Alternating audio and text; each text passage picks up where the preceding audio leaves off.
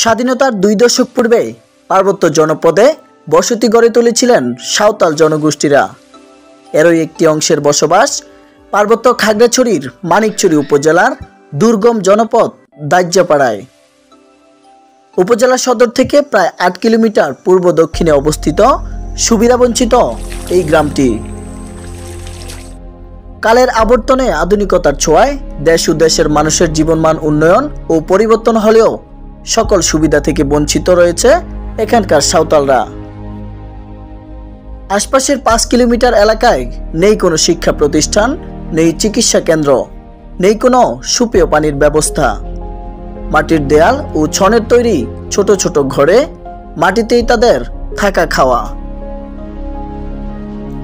কৃষিকাজ করেই চলছে দশ পরিবারের অর্ধ শতাধিক সদস্যের জীবন। উনিশশো পঞ্চাশ সালের আগে স্ত্রী সন্তান ও ভাইদের নিয়ে এই জনপদে বসতি গড়ে তোলেন নকুন্দ সাঁওতাল। তারই উত্তরস্বরী বয়সের ভারে নুয়ে পড়া ভুট্টো সাঁওতাল। তিনি জানান, এখানে বসবাসরত সাঁওতাল জনগোষ্ঠীর দুর্বিষহ জীবনযাপনের কথা। আসাম থেকে আসতে বাগানে ছিল, বাগানে তুমি ছিল আসতে অসুবিধা, পানির অসুবিধা ঠিক কর বাথরুম, বাথরুমে আপনারা এখান থেকে রাস্তাঘাট হাঁটা বলার কষ্ট। হাট বাজারে যাইতে কষ্ট। আপনারা চিকিৎসা পান ডাক্তার আসে এখানে? ওই যে ক্লিনিকে যান আপনারা বাচ্চা কাচ্চা ক্লিনিকে টিকে দেন। কথা হয় তার স্ত্রীর সাথে। জানালেন দুঃখগাথা দীর্ঘ জীবনের গল্প। স্বামী সন্তান নিয়ে ছোট্ট এই মাটির ঘরে বসবাস করলেও জোটেনি সরকারি আশ্রয়ণ প্রকল্পের ঘর কিংবা কোনো সুযোগ সুবিধা। ষাট সত্তর বছর আমরা বছর করতে আসছি এখন। ইয়া আমাদের পানির কষ্ট হয় মানে ইয়া বাথরুম নাই ঘর নাই বৃষ্টি ঘরে থাকতে পারি না। বুঝছ? এই জন্য এগুলা করতে যায়। তিন সন্তানের জননী রত্না সাঁওতাল। সন্তানদের মুখে দুমুঠো খাবার তুলে দিতে প্রতিনিয়ত করে যাচ্ছেন হাড়ভাঙ্গা খাটুনি। বাথরুম নাই ঘর বাড়ি কিচেনের সমস্যা বহুত কিছু খাল থেকে পানি খাইতে লাগে। এমনিতে মাটি দিয়ে গুদাম তুলছি আর কি আর টিন দিয়ে এমনি বাঁধে রাখছি অনেক কষ্ট। স্থানীয়রা জানান যাতায়াত ব্যবস্থা অনুন্নত হওয়ায় অনেকটাই বিচ্ছিন্ন এই এলাকাটি। তবে সরকারি সুযোগ সুবিধা প্রদানের মাধ্যমে অবহেলিত এই সাঁওতাল জনগোষ্ঠীর পাশে দাঁড়ানোর আহ্বান জানান তারা। এখানে দাজ্যাবার সাঁওতাল এখানে যারা বসবাস করে তাদের মধ্যে টাকা পয়সা অভাব এই জন্য তাদের মধ্যে অনেক এ নিচে নেমে পড়ে আছে।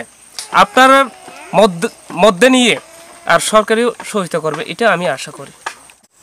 এই যে সাঁওতাল সাঁওতালপাড়ায় আসি দেখলাম যে অনেকগুলা বাড়ি ঘর ভাঙ্গাচোরা এগুলো দেখে রাস্তাঘাট ভাঙ্গাচোরা এগুলো দেখে এখানে কোনো সরকারের উন্নয়নমূলক কোনো কাজের ছোঁয়া এখানে লাগে নাই। এই জন্য আমি সরকারের কাছে আগুলো আবেদন করি যে এখানে যেন রাস্তার ব্যবস্থা হয় এই যে পিছিয়ে পড়া সাঁওতালদের যেন উন্নতি হয়। এখানে এই পর্যন্ত কোনো কেউ একটা বিজিবি কার্ড বিজিবি কার্ড বা সরকারি কোনো অনুদান দান কোনো কিছুই পায় না। সুবিধা বঞ্চিত এসব মানুষ যাতে তাদের প্রাপ্য সুযোগ সুবিধা পায় সে ব্যাপারে আশ্বাস দেন ইউপি চেয়ারম্যান। এই এলাকার ব্যাপারে আমার আগে তেমন একটা ধারণা ছিল না।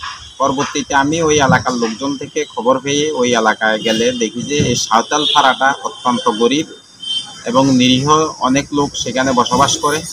সেখানে অনেক উন্নয়নমূলক কাজ করার দরকার এবং আমি বিশেষ করে আমি আপ্রাণ পরিমাণ চেষ্টা করব সেখানে উন্নয়নমূলক কাজ দ্রুতভাবে করার জন্য এবং বড় যে কাজগুলো আছে প্রয়োজনে আমি ইউনু মহোদয় এবং উপজেলা চেয়ারম্যান এবং কয়েকজন এমপি মহোদয়কে অবগত করে উন্নয়নমূলক কাজগুলা করার চেষ্টা করব ইনশাল্লাহ ক্ষুদ্র এই নৃগোষ্ঠীর মানুষদের প্রতিটি দিনই বেঁচে থাকার যুদ্ধ।